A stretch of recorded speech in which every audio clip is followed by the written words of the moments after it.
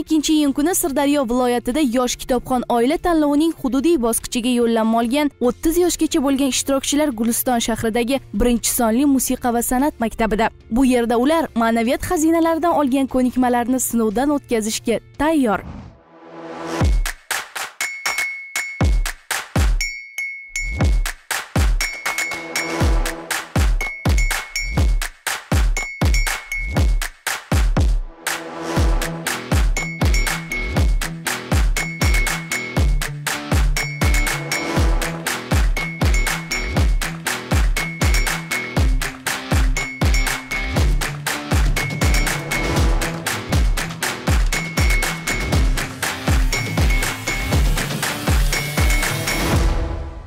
Erta tongdan tana harorati birma bir o'lchanib antiseptik vositalari va niqoblar himoyasida prezident sovg'asini qo'lga kiritaman kitobxonlikda tengsizman degan yosh oilalar kutish zalidan o'rin egallashdi. Mana bu monitor esa ularni tanlov adolatsiz o'tmaydimi degan xavotirini yengish maqsadida har bir jarayonni ochiq oydin to'g'ridan to'g'ri ko'rsatish uchun hozirlangan. Dastlab yosh oilalarga tanlov tartibiyu nizomi qisqa tanishtirilgach birinchi shartga start berildi.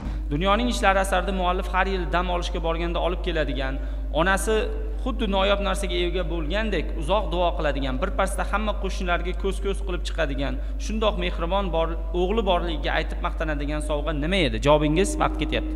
Gilam paypoq. Tushunmadim gilam paypoq. Javob to'g'ri.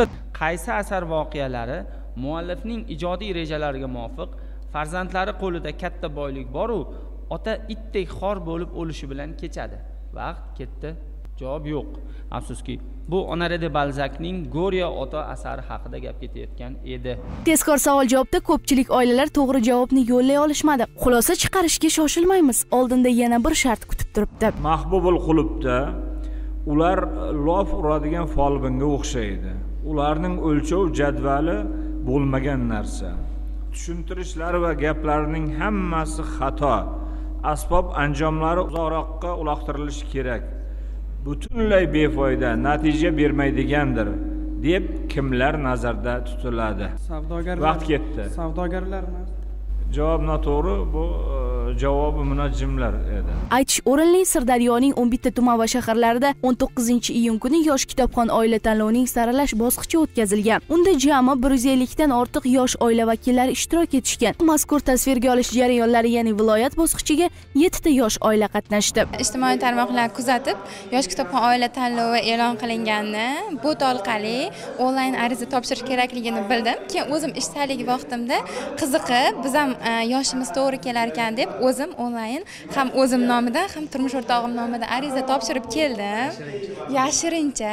Keyin bular aytdilar qanday bo'lar ekan? Bizdan bilim kuchli ishtirokchilar bor.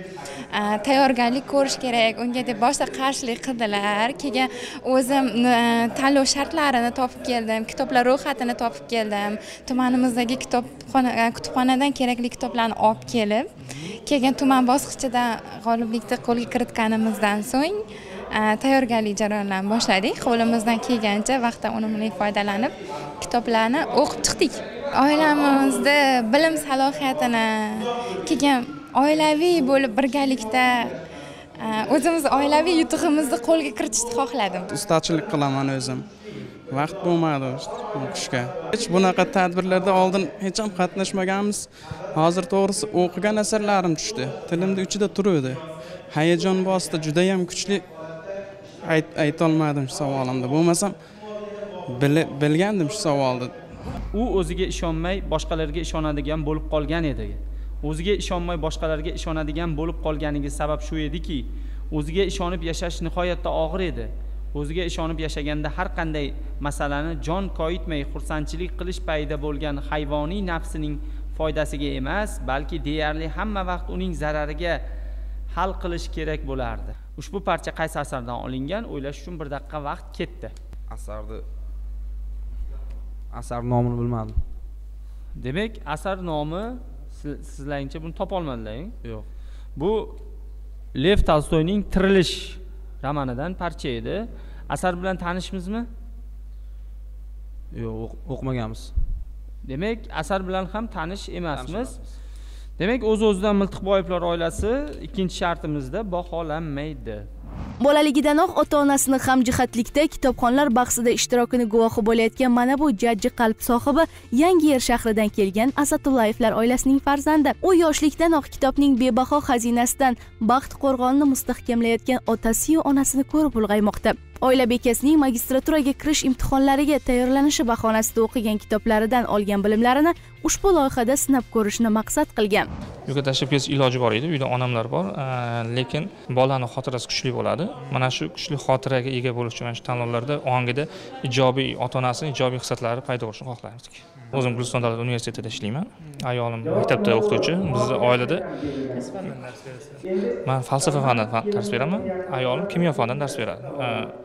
Oilaviy muhit bari xohlaymiz kitobga jalb qiladi. Va kitob o'qish qandaydir insonga yaxshi ma'naviy oziqa bo'ladi deb o'ylayman. Har holda kitob o'qiganimiz o'zimizga foyda qoladi va hammaga tavsiya qilardim. Albatta faqat tanlov uchun emas o'zimiz uchun kitob o'qishni chunki farzandim oldida ham kitob o'qiyotganligimiz buni hayotiga ta'sir qilib boryapti deb o'ylayman. Nechta kitobni o'qib tugatdingiz?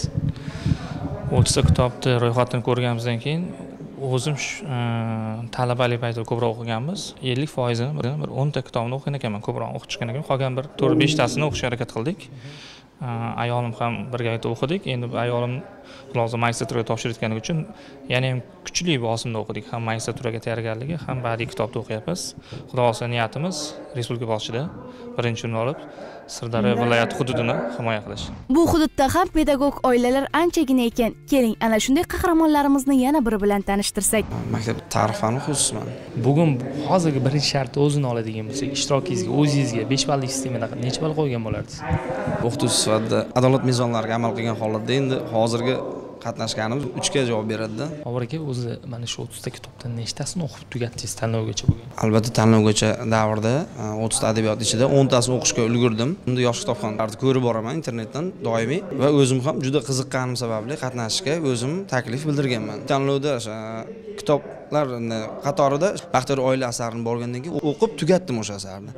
Va oilaga bo'lgan e'tiborim mas'uliyatim yanada oshganligini va yanada ko'proq his qilishim kerakligini tushunib yetdim keyingi yillarga o'tkaziladigan e, musobaqalarga jiddiyroq tayyorgarlik ko'rib kattaroq pog'onani egallashga harakat qilamiz. Natijalarni yon daftariga qayd qilib borayotgan shu savol menga tushsa bo'lmasmidi deya bahslashayotgan yosh oilalar bor bilimini ishga solishdi. Hayajonmi yoki ikkilanishlar sabab ikkinchi shartda ham javoblar ko'ngildagidek natijani bermadi. Kitoblar o'qilgan mazmuni haqida tasavvur bor. Biroq uning qahramonlari va jarayonlarini eslab qolishda ular kamchiliklarga yo'l qo'yishgan shu sababli ko'plab qatnashchilarning natijalari o'zlari xohlagandek bo'lmadi. Keyingi yilga qattiq tayyorgarlik ko'rib g'olib bo'laman deb ya'ni respublika g'olib bo'laman deb harakat qilamiz. Bu yil endi qo'ldan kelgancha kuchimiz yetgancha deb niyatda keluvdik to'g'risi. Nechta kitobni o'qidingiz o'sha tanlov o'n besh yigirmatada lekin hammasini o'qishga ulgurmadim to'g'risi hozirgi holatda masalan hech qanday tanish bilishchilik yoki norozi bo'ladigan holat yo'qda tanlov chiroyli tashkil qilingan. Kasbimiz o'qituvchi o'zi.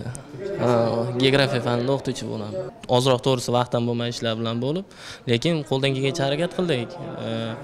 Boyagi harakatlar ja unchalik kuchli bo'lmadi to'g'risini tan olamiz. O'zim o'n to'rttasini o'qib chiqdim. Lekin qaytarishga takrorlashga vaqt bo'lmadi. Harakat qildik lekin shuncha bilimlilarni orasida E, o'zimizga kerakli bilimlarni yig'ib oldik desak ham bo'laveradi. Xulosa qildik e, to'g'risi o'zimiz ustimizda ishlashimiz kerak ekan. E, bu yildan keyingi tanlovlarda sovrindorlar qatorida bo'lishga harakat qilamiz. Javondagi javohirlarga qiyoslangan kitoblar dunyosidan o'z baxtini poydevorini qurayotgan yosh oilalarning bir biriga hurmati. Munosabatidan ham ma'lumki ma'naviyatli oilada sog'lom muhit va o'ziga xos tarbiya shakllanishini guvohi bo'lish mumkin. Bu hududda ham shartlar yakunlanib borar ekan final bosqichida ishtirok etadiganlar o'z o'zidan ma'lum bo'ldi. Badiiy asar bilimdoni sharti g'alaba egalarini aniqlab berdi. Keling ular bilan tanishtirsam. Tanlov yakuniga ko'ra birinchi o'rinni yangi yer shahridan asatullayevlar oilasi ikkinchi o'rinni oqoltin tumanidan matismanovlar oilasi uchinchi o'rinni sirdaryo tumanidan naimovlar oilasi egalladi.